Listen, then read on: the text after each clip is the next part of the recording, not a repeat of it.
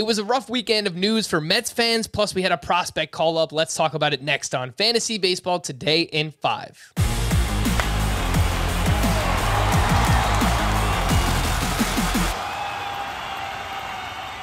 Welcome into FBT in 5. As always, make sure to follow and stream us on Spotify. Today is Monday, July 19th. I am Frank Stampfl, joined by Scott White, and we had terrible news again. Jacob DeGrom placed on the IL retroactive to July 15th with tightness in his right forearm. He's dealt with a couple of different things this year, but you know when DeGrom is healthy, He's pitched like a historic starting pitcher. Not much to do there, but you probably need some replacements at starting pitcher, Scott. So I'm going to throw a few names your way. John uh, Jameson Taillon was up against the Red Sox on Sunday, five and a third shutout with three strikeouts. Chris Flexen had a nice start this weekend, seven innings, one run. Jon Gray, another really nice start, seven innings, two runs, seven strikeouts. And Kwang Hyun Kim was up against the Giants, six shutout with one strikeout. How would you rank those four? Taillon, Flexen, Gray, and Kim. I think Jon Gray's the clear standout here. He's been a different pitcher since coming back from injury. All five of the starts have been great, including two at home and Coors Field, this most recent one at home. Just missing a lot more bats. The stuff looks livelier. He looks as good as Jon Gray's ever looked. So he's number one. Jameson Taillon has put together three good starts in a row, and I, have liked the improvement in his fastball all season long. I thought better things were coming. So he'd be number two. Flexen a distant third. Don't see a lot of potential there, but he is he is on a nice run, if nothing else. And then Kwang, Kwang Hyun Kim would be a distant fourth. All right, let's look at another group of starting pitchers. These are all rostered between 30% and 60% of CBS leagues. So a little bit deeper uh, formats here. Alex Cobb up against the Mariners this weekend, six and two thirds, one run, six strikeouts. Madison Bumgarner made his return to the mound, six innings, two runs, six strikeouts. Zach Thompson, someone I know you do like quite a bit, Scott. Tylor Megill made another start for the Mets. He was at the Pirates six shutout with two strikeouts, and then Wily Peralta. That's right, that Wily Peralta. He's back in the bigs. He pitches for the Detroit Tigers now. Seven shutout with four strikeouts. Scott, who is your one or two favorites from this group? Cobb, Mad Bum, Thompson, Megill, and Peralta.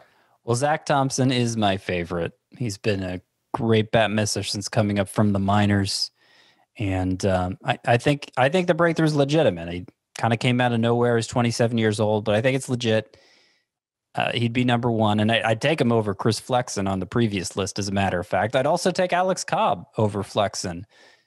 Cobb's underlying numbers have looked great all year. He's been getting strikeouts, a lot of ground balls, that splitter. It's it's always been a fantastic pitch for him, but it it's gone to another level this year. And uh, four of his past five starts, we've really seen the results turn around, start to live up to those expected stats that have looked great all year. So Alex Alex Cobb would be number two for me. The other big news this weekend regarding the Mets was Francisco Lindor, who went to the IL with a grade two oblique strain, expected to miss somewhere between four and six weeks.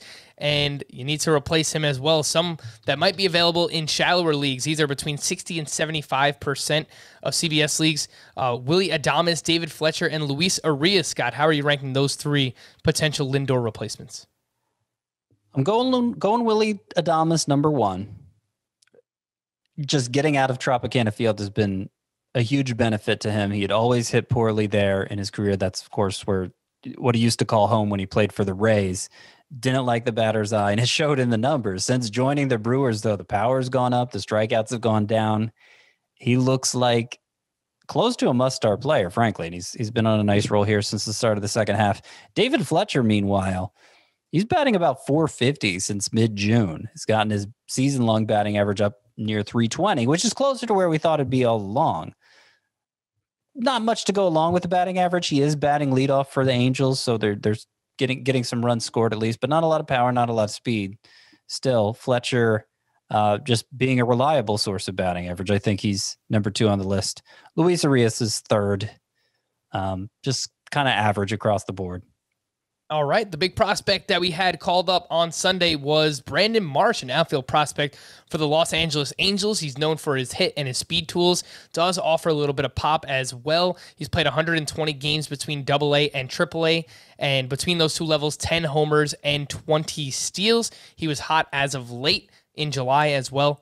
13, actually, no, I think it's up to 16% rostered now for Brandon Marsh. Scott, What do you like about the skill set, and what leagues would you be looking to add Brandon Marsh in? Maybe f- some five outfielder leagues. I don't think he's an automatic add even in those. I spent 2.7% of my FAAB budget to win him in Tout Wars. That's a five outfielder league with a 15 team five outfielder league. So it's not like there was a lot of competition for his services. He, he is considered a good prospect, but a lot of it's just because of the athleticism, uh, the ability to play defense, the raw speed that hasn't really translated to a lot of stolen bases in the minors. Maybe he'll be of help there. Hard to say. I think the hit tool is pretty good. The power is the big question for Brandon Marsh. He has shown it at times. I think he's capable of being a power hitter, but is it going to manifest in his first stint in the majors? I would bet against it, but it's more of it, it's more of a wait and see thing. Let's let's see how Marsh performs, and then we can talk about adding him. For more extensive fantasy baseball coverage, listen to the Fantasy Baseball Today podcast on Spotify, Apple Podcasts, Stitcher, your smart speakers, or anywhere else podcasts are found. And thanks for listening to Fantasy Baseball Today in 5. If you enjoyed the pod, please leave a five star review on Apple. We'll be back again tomorrow morning. Bye bye.